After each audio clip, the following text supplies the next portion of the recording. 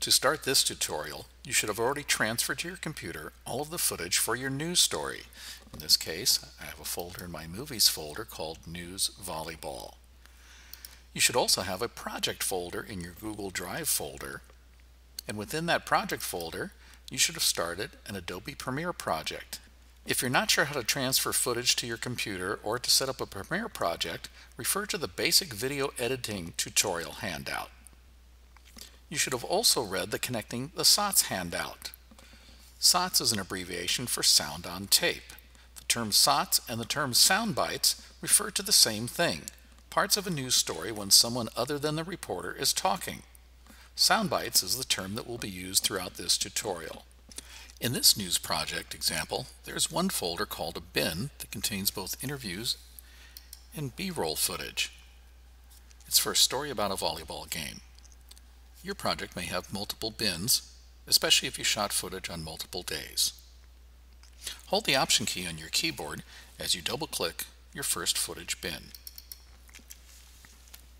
This will open it so you can see all of the footage inside. Find your first interview and double-click it. This will open it up in the preview window.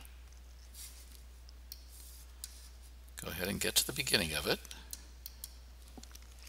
and play it. Uh, how long have you been playing volleyball for James Logan? Now, remember you have some background questions and some topic questions. You want to go ahead and skip your background questions for now. You're going to use that information later. So go to your first topic question and play back the answer. Playing volleyball for four years. Is your team excited for tonight's game?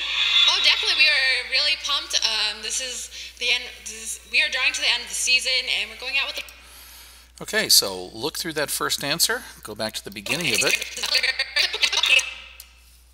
Game. You want to stop just at the end of the question, just before the answer, and then press the I key on your keyboard. This will set an in point. Now play through to the end of the answer. Oh, definitely. We are really pumped. Um, this is the end. Is, we are drawing to the end of the season, and we're going out with a bang. Okay.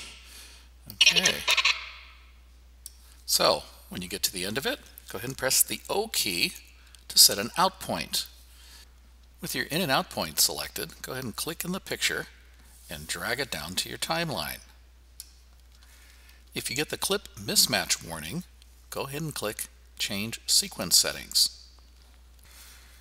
Go back to the preview window and play the answer to the next question. You to keep playing volleyball? Remember, I stop at the end of the question, press the I key for the in. The game itself. Press the O key. Now this is kind of a short one. I may still use that, so I'll drag it down to the timeline. Let me go back up there to the preview window. So what are your team's goals for this year? So at the end of the question, I'll press the I key to get a new in point. Our goal this year is to make it through NCS. I'll press the O key. And I'll click and drag it down to the timeline. Repeat this process until you have reviewed all of the topic question answers in your first interview and have added answers to your timeline that may help tell your story. Then go ahead and select the next interview. Double click it so it'll show in the preview window. Follow the same procedure find answers that can help tell your story and add them to your timeline. Repeat the process for all of your interviews. If you have more than one footage bin, make sure you go through all the interviews in all of your footage bins. And when you have finished, save your project and move on to the next tutorial.